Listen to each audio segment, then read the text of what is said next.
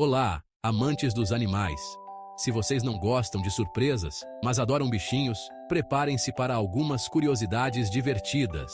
Sabia que o cérebro de um gato é 90% parecido com o de um humano? Talvez seja por isso que seu gatinho sempre parece saber quando você está triste. E adivinha?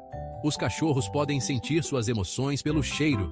Isso mesmo, eles detectam mudanças no seu cheiro quando você está feliz ou triste. Já se perguntou por que os gatos adoram se enfiar em espaços pequenos? É porque isso os faz sentir seguros e protegidos, como se estivessem de volta ao útero. Falando em se sentir seguro, os cães se enrolam como uma bola quando dormem para proteger seus órgãos vitais. Instinto de sobrevivência em ação. Ah, e aqui vai uma divertida. Os gatos têm uma camada reflexiva especial atrás da retina. Por isso, seus olhos brilham no escuro. Enquanto isso, os cães têm cerca de 1.700 papilas gustativas, muito menos que os humanos, mas com certeza sabem apreciar uma boa refeição.